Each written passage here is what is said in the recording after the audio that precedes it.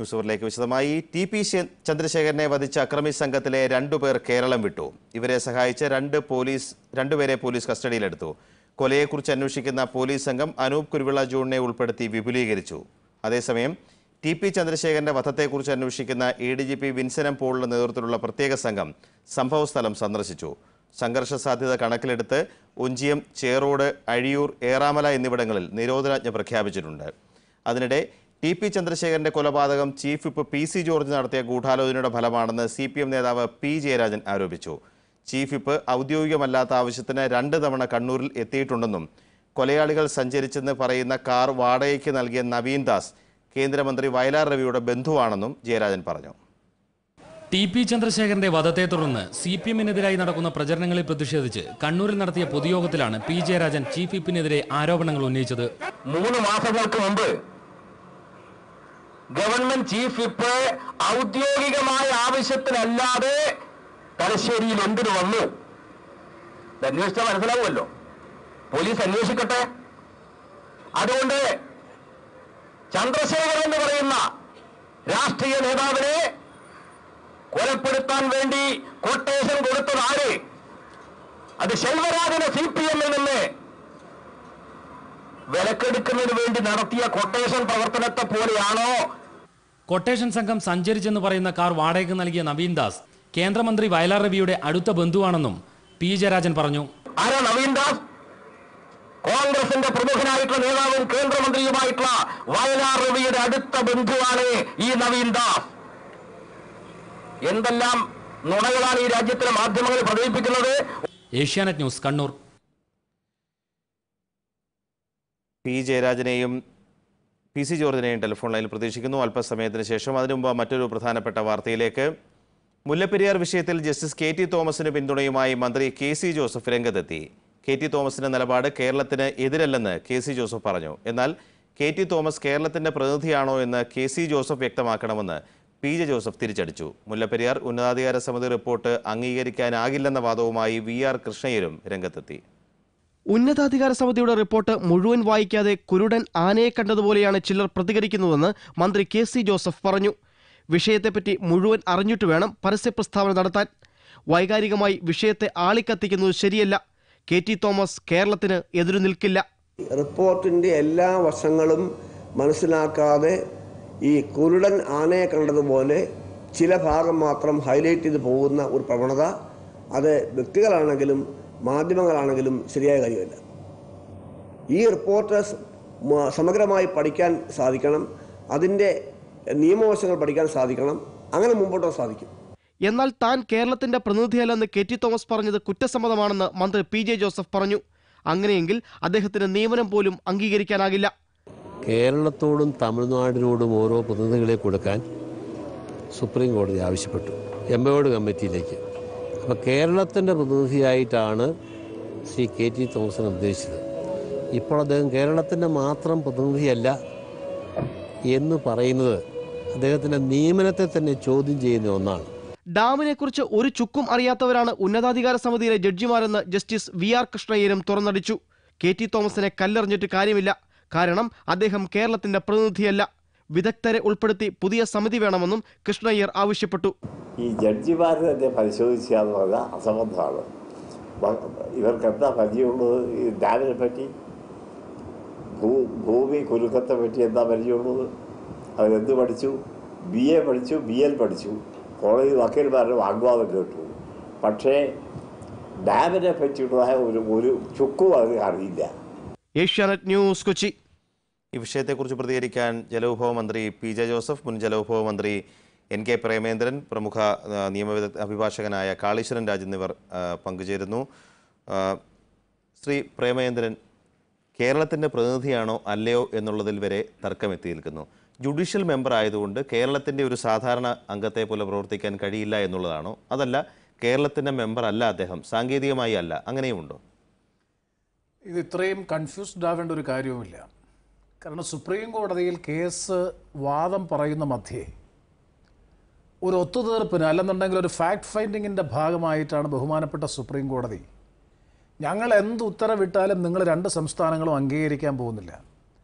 അതുകൊണ്ടൊരു തീർപ്പുണ്ടാക്കാനും ഈ കാര്യത്തിൽ ഒരു വസ്തുതാപരമായിട്ടുള്ള പഠനം നടത്തി റിപ്പോർട്ട് സമർപ്പിക്കാനും വേണ്ടിയിട്ടാണ് ഒരു ഉന്നതാധികാര സമിതിയെ നിയോഗിക്കാൻ സുപ്രീം കോടതി നിർദ്ദേശിച്ചത്.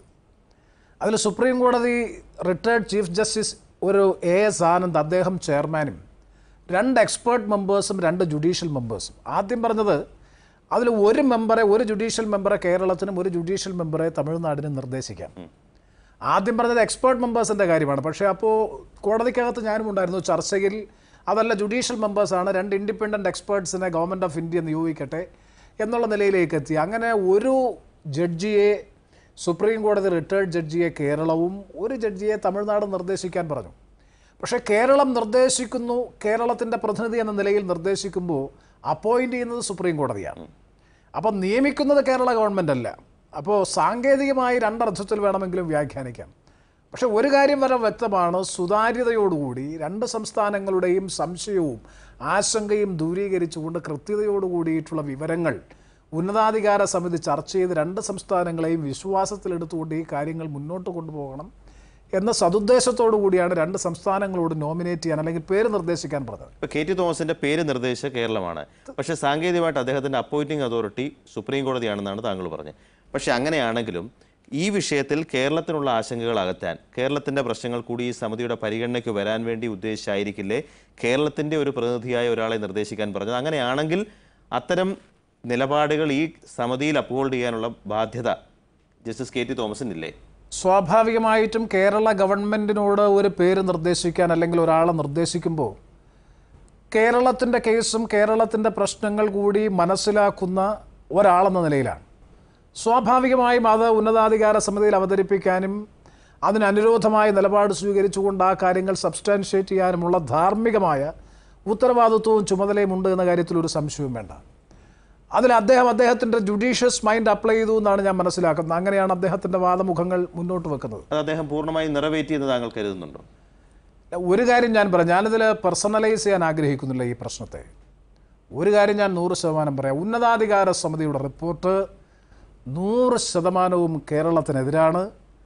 ഏകപക്ഷീയമാണ്. പൂർണമായും തമിഴ്നാടിന് അനുകൂലമായിട്ടുള്ള റിപ്പോർട്ടാണ് ഞാൻ തിരിച്ചു വരാം. ശ്രീ പി ജെ ജോസഫ് ഒരു ജുഡീഷ്യൽ മെമ്പർ എന്നുള്ള നിലയ്ക്ക് പി ജെ ജോസഫിനെ പോലെയോ കെ എം മാണിയെ പോലെയോ ഉമ്മൻചാണ്ടിയെ പോലെയോ മറ്റേതെങ്കിലും മന്ത്രിമാരെ പോലെ നിലപാട് പരസ്യമായിട്ട് എടുക്കാൻ കഴിയില്ല. ഇതാണ് ജസ്റ്റിസ് കെ ടി തോമസ് പറയുന്ന പ്രധാനപ്പെട്ട ഒരു വാദം. പക്ഷേ അത് അംഗീകരിക്കുമ്പോൾ തന്നെ സംസ്ഥാനത്തിന്റെ ആശങ്കകൾ ഉന്നതാധികാര സമിതിയിൽ വാദിച്ച് അവരെ കൊണ്ട് ആ നിലപാടിലേക്ക് കൂടി ശ്രദ്ധ തിരിപ്പിക്കാൻ ജസ്റ്റിസ് കെ ടി തോമസിന് കഴിഞ്ഞില്ല. അദ്ദേഹം ഈ സമിതി അംഗം എന്നുള്ള നിലയ്ക്ക് ഒരു പരാജയമായിരുന്നു എന്ന് താങ്കൾ പറയുമോ?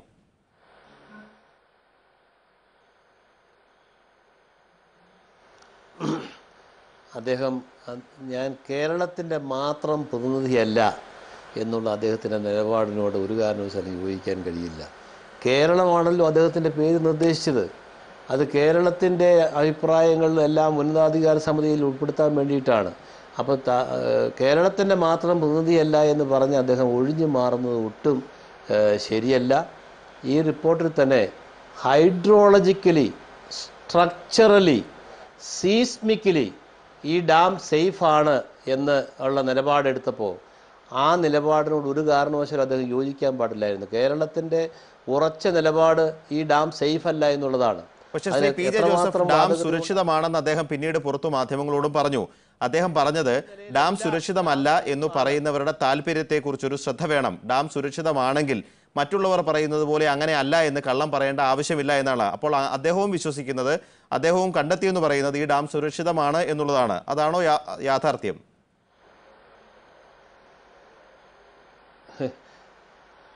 ശരി ഇത് ഇതിനെ സംബന്ധിച്ച് റൂർഖി ഐ ഐ ടിയുടെ സ്റ്റഡി ഉണ്ടായിരുന്നു.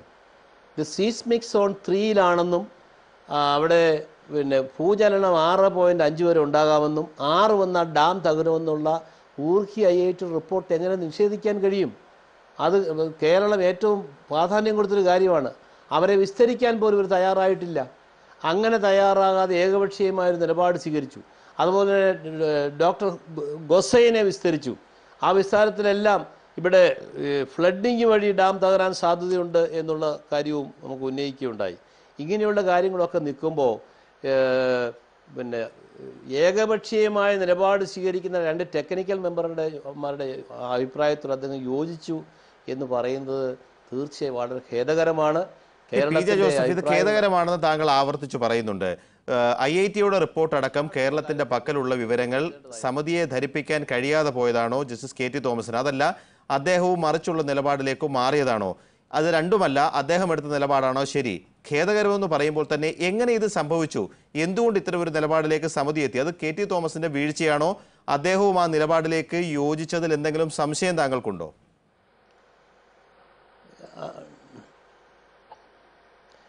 അതിൽ ഇതിലെ മൂന്ന് മെമ്പർമാർ ഏകപക്ഷീയമായ നിലപാട് ആദ്യം മുതലേ സ്വീകരിച്ചിരുന്നു. അതിനോടൊരു ഡിസെൻഡിങ് ആയിട്ടുള്ള സമീപനം അദ്ദേഹം എടുക്കേണ്ടതായിരുന്നു എന്നുള്ള എന്റെ എളിയ അഭിപ്രായം.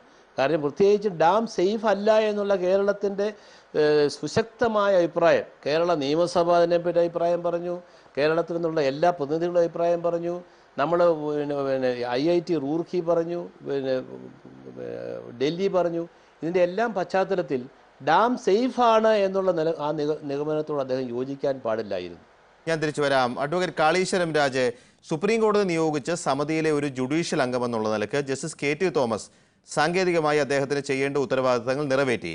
ഒരു പരിധി കൂടെ കടന്ന് സ്വന്തം സംസ്ഥാനത്തിന്റെ താല്പര്യത്തിന് വേണ്ടി ഒരു രാഷ്ട്രീയക്കാരനെ പോലെ തനിക്ക് വാദിക്കാൻ കഴിയില്ല എന്ന് പറയുകയും ചെയ്തു. പക്ഷേ ഇപ്പോൾ കെ ടി തോമസിന്റെ വീട്ടിലേക്ക് പ്രതിഷേധമായി കോലങ്കത്തികളായി പ്രകടനമായി സംരക്ഷണം ആവശ്യപ്പെട്ട് അദ്ദേഹം സുപ്രീം കോടതിയിലേക്ക് പോകുന്ന അവസ്ഥയുമുണ്ട്. ഉന്നതാധികാര സമിതിയിൽ കേരളത്തിന്റെ പ്രതിനിധിയായി അദ്ദേഹത്തെ നിയമിച്ചതും അവരുടെ പഠനവും എന്തർത്ഥമാണ് നൽകുന്നത്? എന്റെ അഭിപ്രായത്തിൽ ഈ പ്രശ്നം ഉന്നതാധികാര സമിതിയുടെ റിപ്പോർട്ടിന് ശേഷമുള്ള പശ്ചാത്തലത്തിൽ കുറച്ചുകൂടി ബുദ്ധിപൂർവകമായും പക്വമായും കൈകാര്യം ചെയ്യാനുള്ള ബാധ്യത മറ്റാരെക്കാളും നമ്മുടെ രാഷ്ട്രീയ നേതൃത്വത്തിനുണ്ട് മന്ത്രിസഭയ്ക്കുണ്ട്.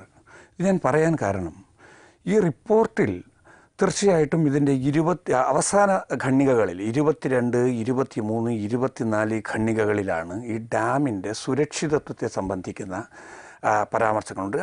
തീർച്ചയായിട്ടും ഡാം സുരക്ഷിതമാണ് എന്നുള്ള രീതിയിലുള്ള പരാമർശം ഈ റിപ്പോർട്ടിലുണ്ട് എന്നത് എതിർക്കപ്പെടാവുന്നതാണ്. അതിൽ എനിക്കും തർക്കമില്ല. പക്ഷേ ഈ റിപ്പോർട്ട് ഇങ്ങനെ ആയിരിക്കവേ തന്നെ ഇതിൽ വളരെ പ്രധാനമായിട്ട് മുൻപോട്ട് വെക്കുന്ന രണ്ട് പരിഹാര മാർഗങ്ങൾ എന്ന് പറയുന്നത്. അത് way forward towards an amicable resolution എന്ന തലക്കെട്ടിന് കീഴെയായി ഒന്നാമത്തെ പരിഹാരം എന്നുള്ള നിലയിൽ ഡാം പുതിയ ഡാം എന്നുള്ള കാര്യം. അത് ഒട്ടേറെ കണ്ടീഷൻസിന്റെ അടിസ്ഥാനത്തിലാണ് നിർദ്ദേശിക്കപ്പെട്ടിട്ടുള്ളത്. രണ്ടാമത്തെ കണ്ടീഷൻ എന്നുള്ള നിലയിൽ പുതിയ ഒരു ടണൽ നിർമ്മിക്കുക എന്നത് ആ നിലയിലുള്ള പഠനങ്ങൾ നടത്തുക. അമ്പതടി ഉയരത്തിലുള്ള ഒരു ടണൽ നിർമ്മിച്ച് ഇതിന്റെ സേഫ്റ്റിയുടെ ആംഗിളിൽ നോക്കുമ്പോൾ സുരക്ഷിതത്വത്തിന്റെ രീതിയിൽ നോക്കുമ്പോൾ നമുക്ക് വേണ്ടത് എളുപ്പത്തിലുള്ള ചെലവ് കുറഞ്ഞ പെട്ടെന്ന് സാധിക്കുന്ന മറുഭാഗത്തിനും കൂടി സ്വീകാര്യമായ ഒരു പരിഹാരമാണ്. അപ്പോൾ ഡാം പെട്ടെന്ന് തകരുന്നതാണ് എന്ന വാദത്തിൽ നാം എല്ലാവരും യോജിച്ചാൽ പോലും അതിനുള്ള പരിഹാരം ഈ റിപ്പോർട്ടിലുണ്ട് എന്നതാണ് ഏറ്റവും ശ്രദ്ധേയമായ എന്നാൽ തീരെ ശ്രദ്ധിക്കപ്പെടാതെ പോകുന്ന തീർച്ചയായും. പക്ഷേ ശ്രീ കാളീശ്വരൻ രാജു പ്രധാനപ്പെട്ട ഒരു കാര്യം. കേരളം ഉയർത്തിക്കൊണ്ടുവന്ന ഒരു പ്രധാന പ്രശ്നം ഈ ഡാം വളരെ അപകടകരമായ അവസ്ഥയിലാണ്. ഭൂചലനം മൂലം എപ്പോൾ വേണമെങ്കിലും ഇതിന് അപകടം സംഭവിക്കാം. അങ്ങനെ അപകടം സംഭവിച്ചാൽ നാൽപ്പത് ലക്ഷത്തോളം ജനങ്ങളുടെ ജീവനെ പോലും അത് പ്രതികൂലമായി ബാധിക്കാം. അടിയന്തര പരിഹാരം വേണം. അടിയന്തര പരിഹാരത്തെക്കുറിച്ച് ഇപ്പോൾ വന്ന നിർദ്ദേശം താങ്കൾ പറഞ്ഞു. തീർച്ചയായിട്ടും ആയിരം കോടി രൂപയെ എട്ട് വർഷം എടുക്കും പുതിയ ഡാമിനെന്നുള്ള അടക്കമൊക്കെ ചൂണ്ടിക്കാട്ടിയിട്ടുണ്ട്. പക്ഷേ കേരളത്തിന്റെ ആശങ്ക എത്രമാത്രം വലുതാണ് എന്ന് മനസ്സിലാക്കി അത് ഈ റിപ്പോർട്ടിൽ മെൻഷൻ ചെയ്യപ്പെടാതെ പോയിട്ടുണ്ടോ?